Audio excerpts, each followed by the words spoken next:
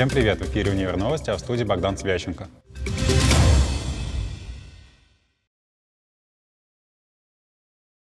В Казанском федеральном университете опубликован основной приказ о зачислении студентов на бюджетные места. Документ подписан ректором Казанского федерального университета Ленаром Сафиным.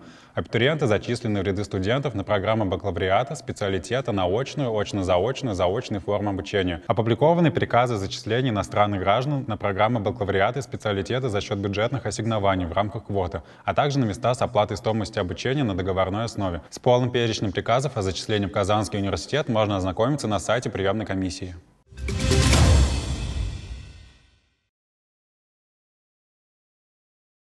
Молодое поколение видеоигр сегодня идут рука об руку. По статистике, около 90% людей играет хотя бы один час в день. Гейминг заменяет людям книги, прогулки, иногда даже друзей. Это другая сторона реальности, в которой каждый из нас способен построить свой мир, каким бы он необычайным ни был. Но не всегда такое увлечение имеет положительный исход. Некоторые игроки настолько погружены в игровой процесс, что забывают делать даже самые бытовые вещи. Это игры, но это Эм, это очень важные, важная сфера деятельности. По, сразу по нескольким составляющим. Э, ну, во-первых, это интересно. Во-вторых, этим увлекается, дай бог памяти, ну, примерно 60% э, граждан страны Российской Федерации свыше, по-моему, 18 лет или свыше 16 лет. Сегодня гейминг и киберспорт в той или иной мере касаются большого количества людей. Пока одни из них играют, другие становятся фанатами блогинга и стриминга. По данным в ЦИОМ, видеоигры пользуются спросом у 23% россиян, 20 из которых играют ежедневно. Занятие может служить своеобразным хобби, способом социализации, методом снятия стресса и даже возможностью заработка. Какой-то популярный миф о том, что компьютерные игры, они там на всех людей тотально зомбируют или куда-то затягивают, или э, приводят к увеличению агрессии, там, гнева и все прочее, все-таки нельзя э, утверждать однозначно, что это есть, скорее это миф. Э, очень по-разному, и в зависимости от ситуации, в зависимости от возраста, в зависимости от э, каких-то других сопутствующих проблем. Например, э, масштабное исследование было посвящено изучению э, связи агрессивности и э, игр в компьютерные, в том числе вот шутеры, есть такой жанр, где там в основном стреляют, и стратегии, сравнивались между собой люди. А, молодые. И большой разницы, честно говоря, не было. То есть и шутеры, и стратегии. А, и самое главное, что они никак не коррелировали с уровнем агрессии. То есть вот какой уровень агрессии был до компьютерных игр, просто как личностные черты, вот примерно такие же они в целом и оставались. На данный момент эксперты не имеют однозначного мнения по поводу влияния этого развлечения на человека. Есть ряд факторов, которые стоит учитывать. С какой целью человек играет, его эмоциональную и психологическую восприимчивость, уровень самоконтроля роли и характер игры. Можно выделить такие жанры, как экшен, ролевые, головоломки, квесты, симуляторы и стратегии. И пока одни из них развивают память, быстрое мышление, точность и способность к решению проблем, другие могут рассеивать внимание и вызывать чрезмерную агрессию и зависимость. При а, избыточном погружении в компьютерные э, игры и в компьютерную реальность может формироваться зависимость, когда человек полностью утрачивает контакты с Э, окружающего мира, там не выполняет э, какие-то свои э,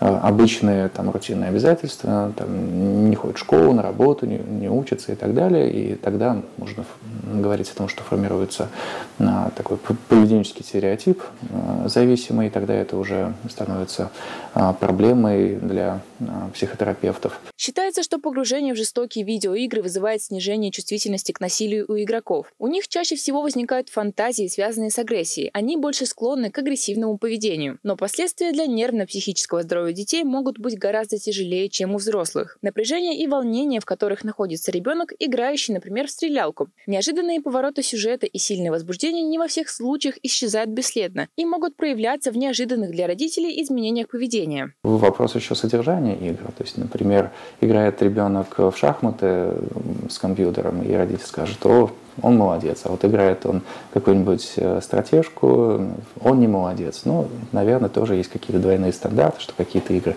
считаются э, правильными и хорошими, а какие-то нет.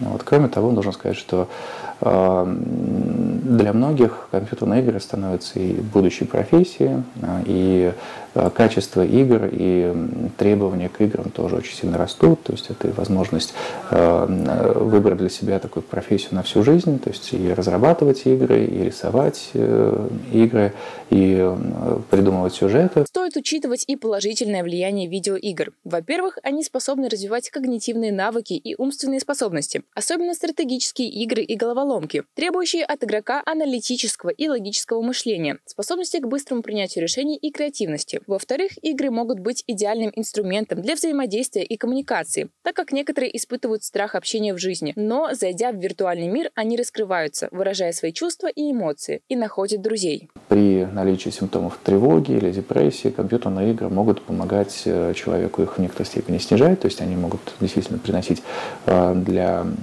некоторых людей удовольствие, и это такой способ бороться со стрессом или просто рекреация, способ э, расслабления.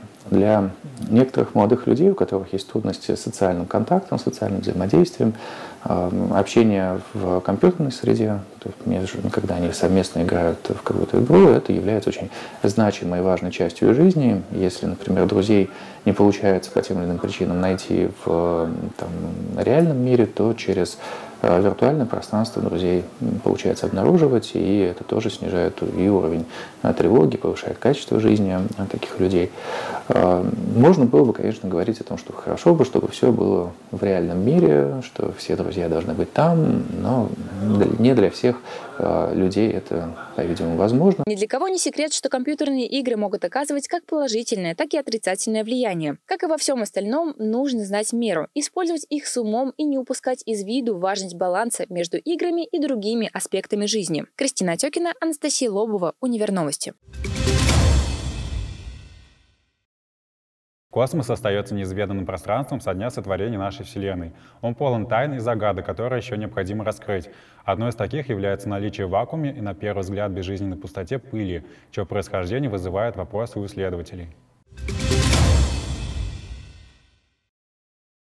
Космическая пыль – это общее название для мельчайших космических твердых частиц. Часть пыли межзвездная, она перемешана с газом, заполняющим галактику в пространстве между звездами. Кроме нее есть межпланетная пыль. Это пыль в нашей Солнечной системе, которая получается в результате столкновения астероидов, комет и других небесных тел. Пыль появилась во Вселенной при взрывах первых звезд. Пронаблюдать их пока не удалось, но теоретические расчеты показывают, что они образовались, когда Вселенной было несколько сотен миллионов лет, то есть больше 13 миллиардов миллиардов лет назад. В ходе термоядерных реакций в массивных звездах легкие химические элементы, водород и гелий сгорают и превращаются в более тяжелые, например, кремний, железо, кислород, углерод. Массивные звезды очень быстро сжигают все свое горючее, и когда топливо заканчивается, реакции в ядре прекращаются. Тогда гравитация оказывается сильнее внутреннего давления и происходит резкое сжатие ядра и сброс оболочки звезды. В результате него в межзвездное пространство выбрасываются новые компоненты, новые тяжелые элементы и космическая пыль Что же такое так называемая космическая пыль?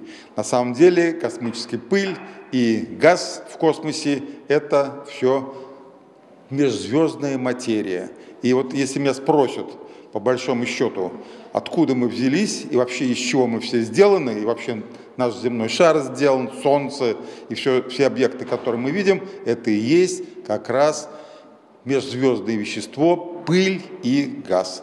Поначалу ученые действительно считали звездную пыль помехой в исследованиях звезд, ведь она заставляла горячую звезду выглядеть менее холодной. После они обнаружили, что пыль играет важную роль в формировании новых звезд, планетных систем вокруг и даже молекул. Например, на ее поверхности образуется вода. Первые теории формирования планет и звезд были сформулированы более 200 лет назад, но существенное развитие эта тема получила лишь во второй половине 20 века. Пыль и формирование звезд связали, когда измерили их химический состав, состав, а также определили природу и состав самой пыли. Ученые выяснили, что за исключением водорода и гелия эти составы очень похожи. Однако детально описать процесс образования звезд и планет только предстоит. Что, конечно, есть некие такие облака, которые являются неким таким вот, ну, скажем так, стенкой, лучше сказать, а, для исследования глубин Вселенной. Но все равно мы проникли только на 30 мегапарсек вглубь Вселенной по той простой причине,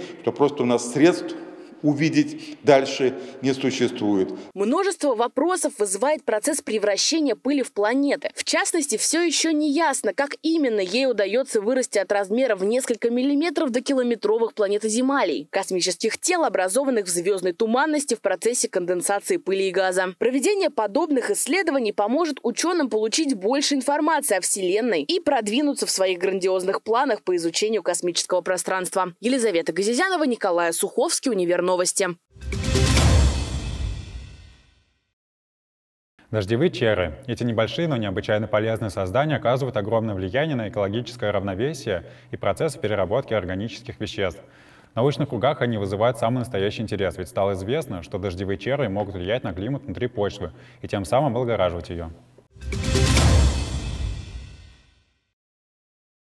Что нам известно о дождевых червях, кроме того, что их используют в рыбалке или в удобрении почвы? Для нас их работа остается незамеченной, но их труды имеют большое влияние на почву и климат в целом. Деятельность этих существ способствует улучшению среды обитания. Они образовывают гумус и вентилируют землю, что помогает плодородию. Больше всего черви любят влажную среду, поэтому в таких местах их популяции значительно больше. И после засухи именно они помогают восстановлению почвы. Не так давно эксперты заявили, что черви могут косвенно влиять на изменение климата и улучшение состояния почвы после длительной засухи. Только среда обитания влияет на живые организмы, а и именно в почве живые организмы, когда обитают в, в ней, они могут преобразовывать ее и изменять химический состав. И вот дождевые черви такой яркий пример. Они, обитая в почве, а, питаются они следующим образом. Они заглатывают почву, она проходит через их пищеварительную систему, перевариваются органические вещества, но зато вышедшая через заднее отверстие проходное почва, она обогащается минеральными веществами. И тем самым, кстати, получают у нас биогумус, который продается в цветочных магазинах. Его как раз получают именно из э, выведенных пород дождевых червей.